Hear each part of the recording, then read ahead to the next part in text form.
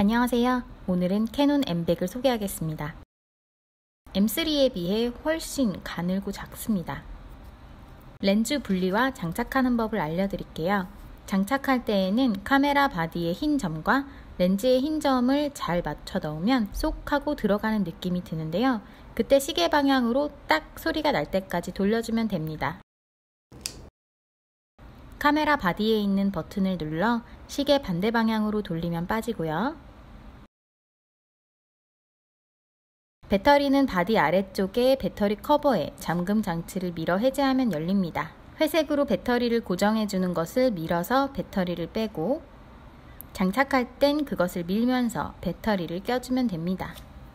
메모리 카드 슬롯은 옆면에 카드라고 써있는 커버를 열면 있습니다. 전원은 윗면에 메뉴 다이얼 중앙에 온오프라고 써있는 작은 버튼이고요. 길게 누르면 켜집니다. 엠백은 카메라 전원을 켜도 렌즈의 잠금을 해제하지 않으면 사진을 찍을 수 없게 되어 있습니다. 이렇게 카메라 액정에 문구가 뜨니까 알려주는 대로 하면 됩니다. 렌즈에 이런 스위치가 있으니 화살표 방향으로 밀어 고정한 상태로 렌즈를 돌리면 잠금이 해제되면서 렌즈가 앞으로 튀어나오고 사진을 찍을 수 있는 상태가 됩니다. LCD 스크린은 이렇게 flip을 위쪽으로 펴서 셀카 모드로 위치할 수 있습니다. 플래시는 플래시 바로 옆면에 플래시를 빼는 스위치가 따로 있어요. 플래시 아이콘 쪽으로 밀면 플래시가 뿅 하고 튀어나옵니다. 강렬하게. 메뉴 버튼은 오른쪽 패널에 바로 있고요. 많은 메뉴들이 있으니 바꾸고 싶은 설정이 있으면 잘 찾아보시면 됩니다. 터치도 가능하니까 간편하게 이용하실 수 있고요. 셔터를 누르면 삐빅 하고 초점을 잡아주면서 찰칵 하고 사진이 찍히고요. 이렇게 찍은 사진을 터치로 확대 축소하면서 확인하실 수도 있습니다.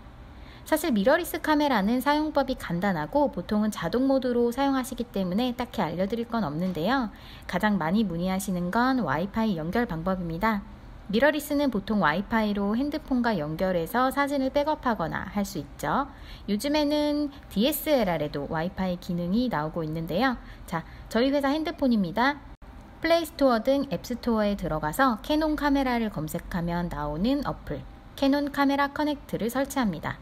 저희 핸드폰은 이미 설치되어 있기 때문에 앱이 열렸습니다. 자, 이제 카메라 전원을 켜고 패널 오른쪽에 와이파이 버튼을 눌러준 후 스마트폰 그림을 클릭. 그러면 해당 핸드폰과 연결할 수 있게 창이 뜹니다. 암호와 와이파이 이름이 나오죠. 그러면 핸드폰의 와이파이 연결해서 카메라에 나온 와이파이 이름을 찾아 선택하고 암호를 입력해 줍니다.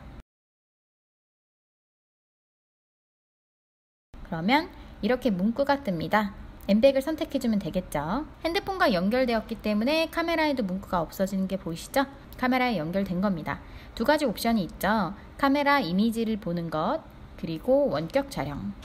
카메라의 메모리 안에 들어있던 사진이 핸드폰과 연결돼서 핸드폰 어플에서도 카메라 안에 저장된 사진이 확인되는 게 보이시죠?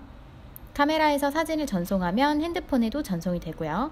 이번에는 원격 라이브 촬영을 해볼까요?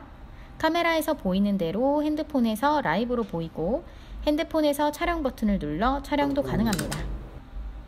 무의식적으로 스트랩, 그러니까 카메라 끈을 잡고 카메라를 놓는 경우가 많은데요. 카메라가 렌즈 쪽으로 쏠리게 되는 경향이 있습니다. 그 상태에서 스트랩만 잡은 상태로 카메라를 놓으면 렌즈가 충격을 받아서 내부적으로 손상이 됩니다. 아주 미세한 충격 같지만 카메라 렌즈는 충격에 굉장히 약하니까 주의해 주셔야 됩니다. 그래서 항상 카메라를 내려놓을 때는 이렇게 카메라의 렌즈를 잡고 살짝 내려놓아야 합니다.